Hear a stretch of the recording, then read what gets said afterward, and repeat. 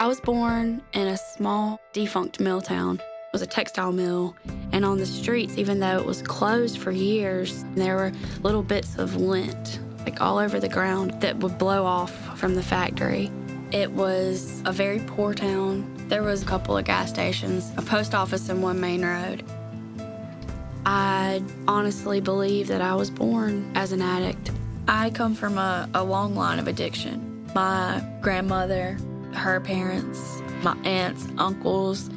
It was a direct hand down from my grandmother to my mom to me. My mom didn't have coping skills and ways of dealing with problems in life, so she turned to drugs. She would be passed out on the floor every morning when I woke up. And in turn, I was never taught coping mechanisms and ways to deal with life. And the only thing I'd ever seen people deal with problems is to turn to drugs, and that's what I did. I got high one night and I felt like a million bucks. I just, I felt better than I ever had in my whole life. And I thought, this is what I'm gonna do. I was 20 years old when I found out I was pregnant with Adrian. It was two weeks before my 21st birthday. I was already in a partying lifestyle. And I remember my mom used when she was pregnant with me. There was no way that I was gonna do that and I didn't use the whole time I was pregnant with her. I nursed her for eight months, and then I had a series of injuries. I was prescribed pain pills, and after that, I didn't stop.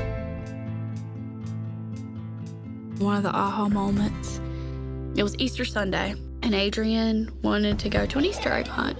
One of my friend's moms was doing it. There's a bunch of kids running around. And I went back and got high.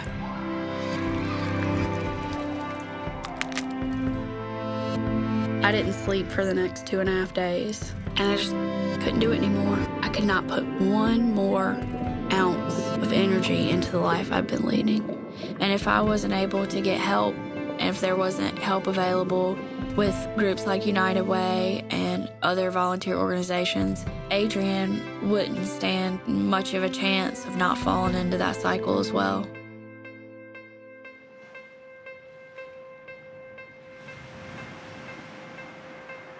My whole life, I've had recurring dreams of waves. And when I was a little girl, up until the time I had Adrian, there would be these huge tidal waves looming. I mean, just blocking out the sun. It was just absolutely overwhelming. And then once I had Adrian, I would dream the wall of water was coming at both of us, and it made it even worse. But now, the past couple months, when I have the dream, the water hits us, but we're in like a really tall hotel that's like surrounded by bedrock, and the wave hits us, but we're okay. Life isn't overwhelming anymore. I'm able to accept responsibility. Because of going to Serenity Place and graduating, I am able to be back in school. My dream is to teach literature at the college level. I absolutely love discussing literature, of exchanging ideas back and forth. I am finishing out my associate's degree at Greenville Tech. This is actually my last semester there. It's an amazing honor and privilege to be alive to be a part of that. And that's one of the biggest things that has come out of people like United Way that have given me this gift to notice how amazing life is and to be a part of it. Adrienne is seven years old.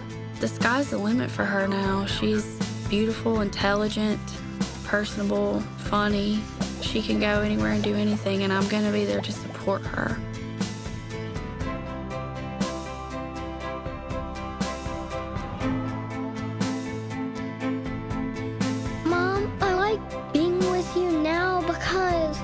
It's much calmer.